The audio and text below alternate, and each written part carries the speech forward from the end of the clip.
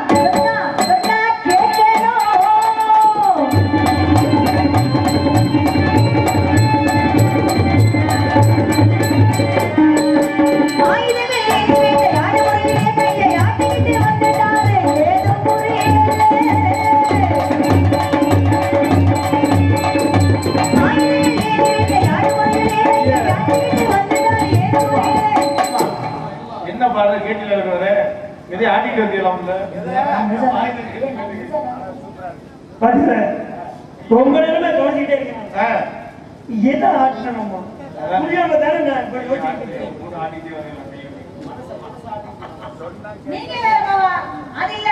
கையில வச்சிருக்காரு பாருங்க புடிச்சுக்கிட்டே இருக்காரு பாருங்க. அவ்வளவு பெருசா?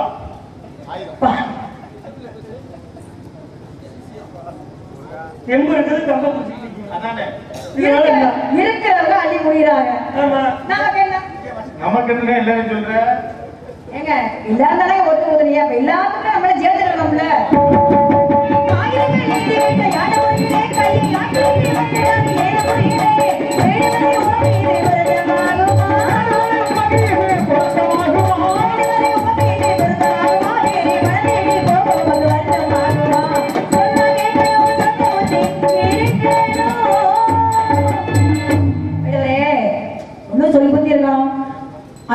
புத்தி இருக்கணும்.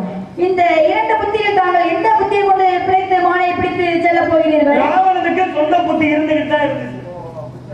இருந்துச்சா? ராவணனுக்கு சொந்த புத்தி இருந்துகிட்டு தான் இருந்துச்சு. சரி. அந்த சொந்த புத்தி சுய புத்தி இல்லாம என்ன கடன் வாங்குற அளவுக்கு புத்தி எங்க போச்சு? எப்ப ஒரு புள்ள பக்கத்துல வந்து நின்னாலும் அப்போ. புள்ள அதுவாக வந்து நின்னுச்சு இல்ல இவனா தேடி போனானா? இல்ல முத அதுதான் வந்துச்சு. ஆ, அப்படி சொல்லுங்க விஷயத்த. என்ன? வந்தவனே இங்க பாருங்க. உலகத்திலே உலகத்திலேயே நம்ம படிச்ச புராணங்களையே தர்மனை கேட்டிருக்கோம். ஆனா அதற்கு முன்னதாகவே யாருன்னா அவன்தான் ராவணன். ராவணன் மாதிரி ஒரு நீதிமன்ற உலகத்திலே கிடையாது. அதை கேட்டுங்களா அவன் யாரு தெரியுமா? அரக்கிக்கும் பிராமணனுக்கும் பிறந்த பிராமணன் அவன். உலகத்திலே சாமவானத்தை பாடி தமிழன் தமிழன் கூட. தமிழன் கூட சாமவானத்தை பாடி இறைவனையே மனசு அசைக்க வச்சான். ஏன்னா மனைவி பக்கத்துல இருக்காங்க. யாரு? அங்கே சிவபெருமானும் பார்வதி இழப்பிருக்காங்க இவன் கையில மயில அப்படி அசத்து தூக்குறான். தூக்குறவனே நம்ம மாதிரி ரொம்ப அது உண்மைதான். பேசாம சண்டை நின்று இருக்கான் பக்கத்துல மட்டும் பொண்டாட்டியோ இல்ல காதலியோ இல்ல யாரோ பழக்கப்பட்டவங்களுக்கு ஏதோ ஒரு பொண்ணு அவங்கள பாக்குற மாதிரி இருந்தா கண்டிப்பா வெளியில வரும். உடனே அவ்வளவுதான். மாண்டே பொழந்துருவேன் இவன் என்ன பண்ணாரு? பக்கத்துல சிவபெருமான் பார்த்தாரு. மனைவி நம்ம முதல்லயே ஏற்கனவே சொன்னதை பொய்யுன்னு நினைக்க போறார் என்ன? இந்த கையில மலையை யாரும் அசைக்க கூட முடியாது. அவ்வளவு பலம் வாய்ந்ததுன்னு மனைவி கிட்ட சவால் விட்டுருந்தார். யாரு? சிவபெருமான் ஆனா இவன் என்ன பண்ணிட்டான்? ஒரு தனி மனிதனாக வந்து அந்த கையில மயிலைய அசைச்சாங்க. இப்படி ஒரு பார்வை இது ஏற இறங்க ஒரு பார்வை பார்த்துச்சு. யாரு? பார்வதி. அந்த பார்வதி ஏற இறங்க பார்த்த உடனே இவருக்கு கோபம் ஆஹா, கண்டுபிடிச்சு போட போறாளே. நம்ம மனைவி அசைச்சுட்டானே விட்டு அப்படின்னு சொல்லிட்டு அப்பதான் கத்த வரலை அது கட்ட வரல அவ்வளவுதான். நான் தூக்கி இருந்தால கட்ட வரல அமுக்கணும் லவக்கு அவ்வளவு அங்க தோல்பட்ட மாதிரி. வேற வழியில எடுக்க முடியல. அப்ப என்ன ஆச்சு அப்பதான் அங்க ஒரு கந்தர்வன் என்ன பண்றாரா? ஒரு வழியிலே அவனுக்கு வேலையே என்ன தெரியுமா? அதாவது சிவனுக்கு சாமகானம் பிடிக்கும் சிவனுக்கு சாமகானம் பிடிக்கும் சிவனுக்கு சாமகானம் பிடிக்கும். சிவனுக்கு சாமகானம் பிடிக்கும் அப்படின்னா அவன் சொல்லிக்க போயிட்டான் அறிவாளி இல்லையா? உடனே கற்பூரம் மாதிரி குடிச்சுக்கிட்டான் புத்திக்காக சொல்றேன் புத்திக்காக சொல்றேன் கற்பூரம் மாதிரி குடிச்சுக்கிட்டான் ஆஹா. சிவபெருமானுக்கு சாமகானம் பிடிக்கும். எனக்கு தெரியும். ஆனா இப்ப ஒண்ணு இல்ல. எனக்கு தெரியும் சில விஷயம். ஆனா வாத்தியாருக்கு நிறைய விஷயம் தெரியும். ஆனா அதற்காக அவர் என்ன பண்ணுவாரு இந்த இடத்துல அப்படி காட்டாம காட்டி கொடுப்பார். தம்பி இங்க இருக்குது இடம் அப்படிம்பாரு அப்ப எனக்கு தெரிந்த இடம் தான். ஆனா அங்க போகாம விட்டுட்டு ஆனா அவர் என்ன பண்ணுவாரு? இங்க வந்து பாருங்க. இது நல்லா இருக்கு. அப்படின்னு காட்டுவாரு அப்ப நம்ம புடிச்சுக்குவோம். அப்ப அது மாதிரி என்ன பண்ண சாமகானம் சிவனாருக்கு பிடிக்கும் சொன்ன உடனே என்ன பண்ண? யோசிக்கவே இல்லை. புத்திய பாருங்க. உடனே பத்து தலை இல்லையா? அவன் பத்து தலையில எந்த நேரம் இருக்கும்ல? நினைத்த மாத்திரத்தில் பத்து தலை உருவாகும் உருவாக்கினான் அது வேற விஷயம் கிள்ளி கிள்ளி போட்டதுனால வந்தது. அது என்ன பண்ண? ஒரு தடவை ராவணன் ஒரு கிள்ளு. கிள்ளுடா. கிள்ளு எவ்வளவு விட்டானா? தன் கையிலேயே. என்ன சொல்லுடா சொல்லு. போட உள்ள நரம்பு எடுத்தா.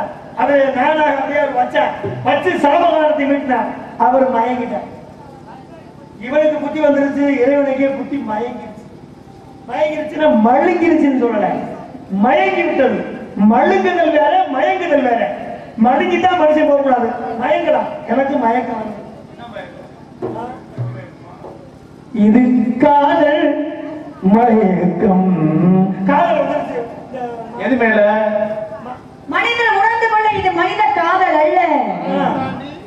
மிருக காதல் இறைவனே உணர்ந்து கொள்ள வருவதற்கு என்ன மனுஷனை கணக்கு பண்ணுங்க அப்படி முடியல புத்தின்னு சொன்ன இன்னொரு பாருங்க நீங்க எனக்கு எடுத்து கொடுத்துட்டே மனுஷனுக்கு புத்தின்னு சொன்ன உடனே மூணு வகை புத்திய முக்கியமா சரி. ஆனா அறிவை சொல்லும்போது என்ன பண்றான் மனிதன் பாதி மிருகம் பாதி கலந்து செய்த கலவை நான். அறிவை பத்தி எப்படி சொல்ல முடியும். ஒவ்வொரு மனிதனுக்கும் ஆறு அறிவு கிடையாது. நீங்க எனக்கு என்ன முறை? தங்கச்சி முறை. என்ன முறை? தங்கச்சி முறை. புத்தி கட்ட ஜென்மம் தான் சொல்லுவாங்க. தங்கச்சி எப்படி அழகா ஒரு அண்ணன் சொல்லலாமா அப்ப புத்தி இல்லைன்னு அர்த்தம்? இல்ல இப்பதான் நீங்க புத்தியை தடுமாற எப்படி நான் எப்படி தருவ தரமான அழகா இருக்கான்னு சொல்லலாம். தப்பு இல்ல. என் தங்கை. அப்பதானே கட்டி தொலைலாம் அதாவது இன்னொருத்தன் பேசுறோம். நீங்க சொல்லுங்க மாமா உங்களுக்கு பொண்ணு கொடுக்க வரணும். உங்களை சொல்லுவது ஏ மாப்பிள மாப்பிள மாப்பிள பத்தி கவனிங்க. சரி.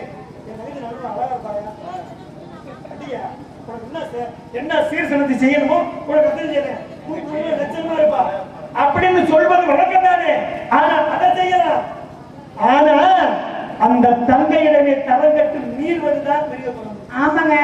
எப்படி? அது உண்மைதான். நல்ல குணம் எங்கே காட்டுது? அழகா இருக்கான்னு சொல்றது இல்ல. என் தங்க நீ அழகா இருக்க? தங்கச்சியை போய் சொன்னோம்னா அது அறிவிலா இருக்கணுமா? எத்தனை தடவை சொல்லுவோம்மா? ஏனே ஒரு விஷயம் அவளே கேட்பா. அண்ணே நான் அழகா இருக்கேன். அப்ப அண்ணன் போய் கேட்டோம்னா இல்ல அவன் சொல்லுவான் ஏன்டா நீங்க சின்ன குழந்தையில கேட்கலாம் ஆமா. ஒரு நல்ல ஆடை உடுத்தி ஒரு நல்ல பூ நிறைய பூ வைத்து அப்படி எல்லாம் இருக்கிறப்ப அண்ணே இந்த ட்ரெஸ் நல்லா இருக்கா? நான் நல்லா இருக்கேனா? அப்படின்னு அதை கேட்கலாம் சாரு மாதிரி தங்கச்சி. அம்மா அம்மா தானே. அப்ப அப்ப தானே. ஏங்க ஒரு ஒண்ணு இல்ல. தெரிந்தவங்களுக்கு அண்ணனுக்கு தெரியும். தெரியாதவங்களுக்கு கண்ணோட்டங்கள் வேற மாதிரில மாறும். தெரிஞ்சுக்கணும் ஏன்னா அன்னைக்கு சூர்பனகை என்ன கேட்ட தெரியுமா முத கேட்ட போது யார் எதனால் இது நீண்டது அப்படின்னா முத யாரு அப்படின்னா, அடுத்தது யாரு? அப்படின்னா அடுத்தது யாரு? அப்படின்னு கேட்டதோட விட்டுருந்தா அவன் அரக்கன் தான் அவர் நல்லவங்கிறது புத்தி இருந்ததான்னு சொல்றேன். அடுத்த வார்த்தை என்ன கேட்டா தெரியுமா? சும்மாவே விடல அடுத்த வார்த்தை இது ஏன் அதனால் உற்றது? உற்றது. இது ஏமா நடந்துச்சு? யாரு செஞ்சது? எதனால நடந்துச்சு அப்படின்னு யார் இதை அவன் என் மூக்கா இருக்கு ஆமா? அப்படி நீ கேட்டதோட விட்டுருந்தானா அவன் அரக்க மனசே இல்லாதவன் புத்தி தெளிவில்லாதவன். ஆனா அடுத்த வார்த்தை இது ஏழனால் விட்டுறது அப்படின்னா. அப்ப சரியா சொன்னாலும் அசுப்பனகை ஏன் நடந்துச்சு முதல்ல கேட்டேன். ஏன்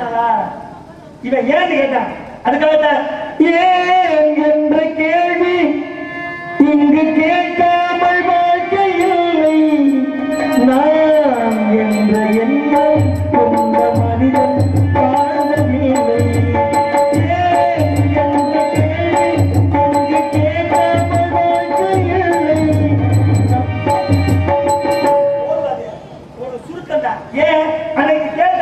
ஆனா அவன் என்ன சொன்னான்? நான் போனேன். எப்படி நான் போனேன்? அவனை ராவனை ஆசைப்பட்டேன். இன்னொன்னு. புராணத்துல ரொம்ப விஷயங்கள் நான் போனேன் ராமன் ஆசைப்பட்டேன்னு அவன் சொன்னாரா? ஆசைப்பட்டேன்னு சொல்ல முடியுமா? எப்படி முடியும் அண்ணன்ட்ட உத பிரிகடி ஆமா. அப்பவே உத ஏப்பா, நீ எல்லாம் ஒரு பொம்பளை வந்துட்டு நீ நீ எனக்கு தங்கச்சியா? பிறந்துட்ட இங்க என்ன உனக்கு கல்யாணம் பண்ணி நீ வந்து முன்னச்சியா இருக்க அவ அப்பவே தாலி எடுத்தவள் கணவனை இழந்தவள். நீ வீட்டுக்குள்ள இங்க இல்லாத சுகபோகம் இருக்குதா? இங்க இருந்திருக்கலாமே. நீ இன்னொருத்தர் மேல போய் ஆசைப்பட தப்புன்னு இருப்ப. அது வரையும் நீதிமானா இருந்தா. அதுவரை நீதிமான் இங்க கடையில ஓ கணக்கு பாருங்க. அதுவரையும் நீதிமான் யாரு? ராவணன். அடுத்து சொல்றேன். அண்ணே நான் எனக்காக போய் முக்க விட்டேன் நினைக்கிறியா? அட பாவி. அந்த தேவலோகத்திலும் மகாலட்சுமி ஒட்ட மணாலும் அதாவது மங்கையும் இன்புறும் ஒரு மங்கையை பார்த்தேன். அவள் உன்னை நீ வச்சு வாரதுக்கெல்லாம் வழி வேணாம். உனக்கெல்லாம் பக்கத்துல உட்கார எதுக்கு உடனே சொல்லி எதுக்கு வேஸ்டா? அது மாதிரி சொல்லி என்ன ஆக போகுது? அவன் பக்கத்துல வந்து வாழ்ற அளவுக்கு நீ தகுதியானவனா? அப்படின்னு கேட்டாளா? அப்பவே அப்பதான் சொல்றேன். என்ன? இவள் சொல்லும் அழகினாலே அவளை மனதில் உற்றேன் கேளுங்க. இவள் சொல்லும் அழகினாலே அவளை மனதில் விட்டுறா நல்லா கவனிக்கணும் இந்த இடத்துல. தான் அவன் மனசாலதான் அவ சொல்றத வச்சுட்டு நான் ஆசைப்பட்டுட்டே இருக்கிறேன். கண்ணால பார்த்தா சீதையை பார்த்தா இல்ல. அவள் சொல்லும் அழகினாலே மனதிலே அவ- ஏன் பார்த்த பிறகு ஆசைப்படவில்லையா? பார்த்தேன். ஆனா கடைசி வரையும் பத்து தம்பி சொன்னானே ஊரா பொண்டாட்டி கொண்டுட்டு போய் விட்டுருன்னு சொன்னானே கேட்டானா? விபீஷணன் சொன்னா ஆ. கும்பகர்ணன் சொன்னா ஆமா ஏத்துக்கல. சகோதரர்கள் அனைவரும் சொன்னாங்கல்ல? நான் கேக்குறேன். உங்களுக்கு தெரியவில்லை. ஒரே வரி மட்டும். இவ்வளவு நாள இப்படி நம்ம பேசணும். சரி. இப்ப நான் கேக்குறேன். பத்து மாசம் இருந்தா. யார் அந்த மகாலட்சுமி சீதா தேவி கண்டிப்பாக. அசோகவனத்துல பத்து மாசம் பத்து மாசத்துல ஒரு நாளாவது. இப்படி விரல் தூண்டிருக்குமா கிடையாது. கேட்டோம்னா ஒரு சாபம். ஆமா. சாபம் இருக்கணும். இந்த சாபம் உண்மைதானே? நம்ம ரெண்டு பேரும். காதலும் காதலி சரி.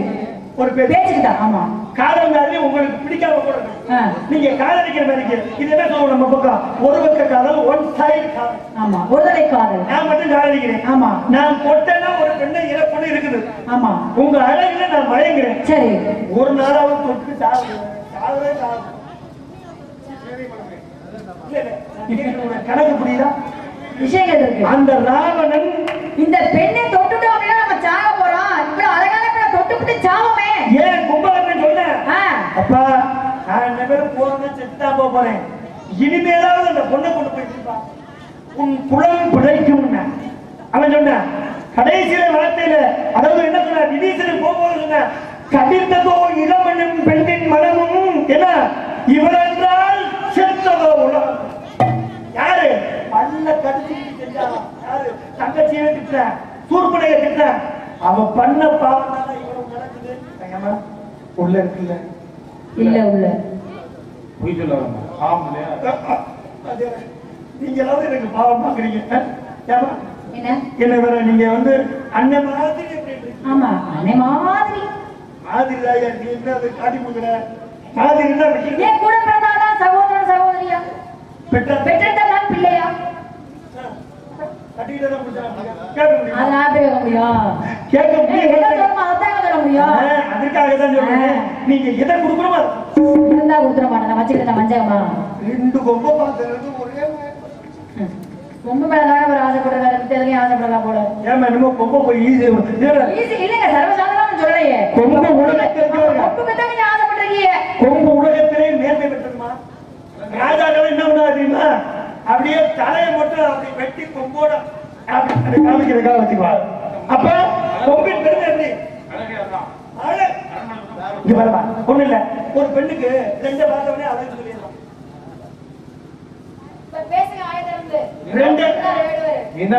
ஒரு பெண் இதுக்கு மட்டும் ஒரு பெண்ணுக்கு ரெண்ட பார்த்தவனே ஆஹா, அம்சமா இருக்காங்க அந்த கையை நாளுதாங்க அப்படின்னு கேட்கும்போது சொல்லிடுவாங்க. ஆனா பெண் பார்த்து இல்ல. இல்ல இல்ல உனக்கு பெண் பார்த்து வர்றாங்க. முதலாளி உனக்கு பொன் பார்த்து வர்றாங்க. பார்த்து வந்தோடனே உங்க அம்மா சொன்னான். ஏ தம்பி அவளை கட்டிக்கடா. நான் மாமி மாலை கட்டிக்கிறேன். அவனுக்கு ஆகாது அவனுக்கு அவனுக்கு ஆகாது. நான் பார்த்த பொண்ணு எப்படி தெரியுமா? மூக்கு முடியும் லட்சணமா இருக்க. ரெண்டே?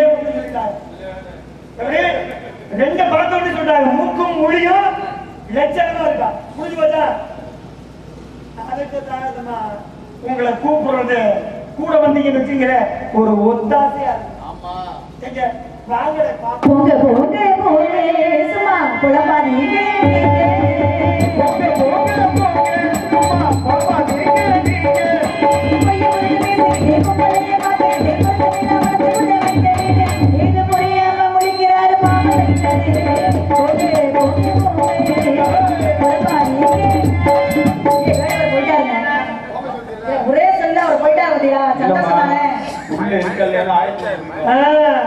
பாத்தீங்களா எப்படி பாத்தீங்களா அகத்தினுடைய அழகு? ஏன் நீ எடுத்து போகிறீங்களோ இல்ல இல்ல அகத்தின் அழகு முகத்துல தெரியுமா? நான் அப்படி யோசனை பண்ணிக்கிட்டு இருந்தேன்.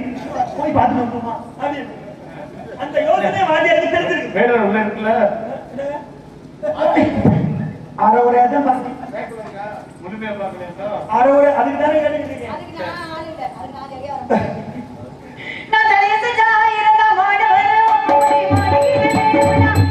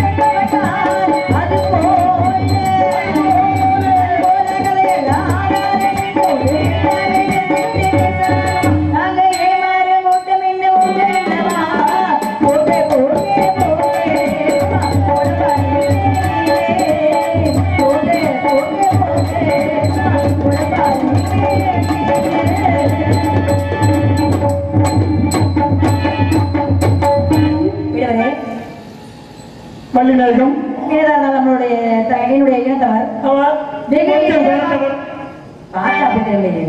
ஒரே மாதிரி தான் இருக்கீங்க. இருந்தாலும் பரவாயில்ல. வெகு நேரமாக உங்களை காக்க வைத்தால் என்னுடைய கால் வலிக்கிற மாதிரி தெரியுது. இதுல என் கால் உங்களுக்கு கால் மாதிரி. கூட அண்ணன் இல்லையாங்க கூட. எனக்கு கூட பிறந்த மாதிரி தான் இருக்கு அவர் தானே என்கிட்ட இருக்காரு? டபுள் பிடிக்கிறவரை விட. அட, பேசிக்கிட்டு சொல்ல வந்தேங்க நீங்க வேற உடனே நல்லா நல்லா பா. என்ன வாத்தியார அதனால என்னப்பா வார்த்தை எப்படி முடியாது அவருக்கு? ஆஹா. அதான் கேட்டேன். அதனால நீங்க என்ன பண்ணீங்க மானை ரொம்ப ஆர்வமா இருக்கீங்க நான் கேட்கறது நீங்க சரியா பதில சொல்லிட்டீங்கனாக்க. மானை நாங்க எல்லாரும் ஒண்ணா சேர்ந்து ஆ, ஆமா கும்மி அடிக்கிறோம் ஏனே ஒரு மானை வச்சு எல்லாரும் கும்மி அடிக்கணும்னு நினைக்கலாமாண்ணே நம்ம தவறு இல்லையா நம்ம எல்லாம் கும்மி. நம்ம ஆடணும்னா அவங்க எல்லாம் கும்மி அடிக்கணும். ஒன்றாக சேர்ந்து மானை தேடி பிடிச்சு தர சற்று முடியும் சற்று சொல்றேன். மானுடைய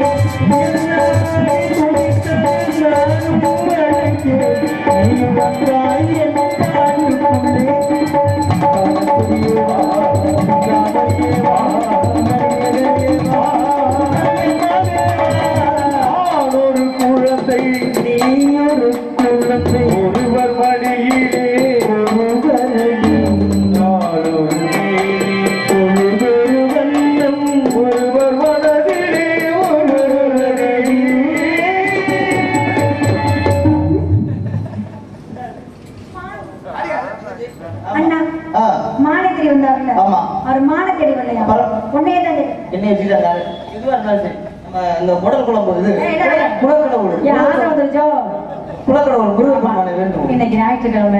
அதனால உனக்கு ஆசை வந்திருக்கும். நினைப்பு வந்து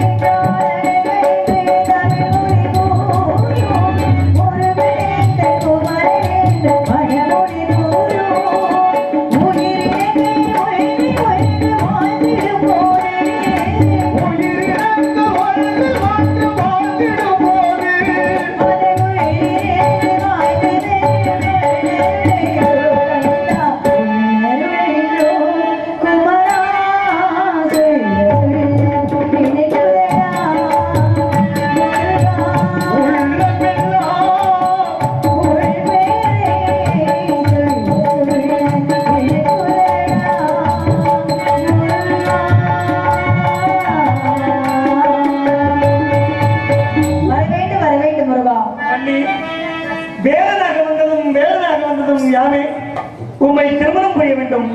சம்மதம் ஒன்றை மட்டும் கூறிவிட்டு எனக்கு இரண்டு வரங்கள் வேண்டும் முருகா. என்ன வரும் அது? மனைவிக்குரிய வலதுபுறம் முதலில் எனக்கும் வையகோத்தர் அனைவரும் வள்ளி தேவியானை சமேத சுப்பிரமணியன் என்று அழைக்க வேண்டும். என்னுடைய நாட்டு மக்கள் நலமாக வாழ வேண்டும். அப்படியே ஆகட்டும். இன்று முதல் இந்த ஊர் மக்களும் உலக மக்களும் அனைவருமே நலமுடன் இருப்பார்கள்.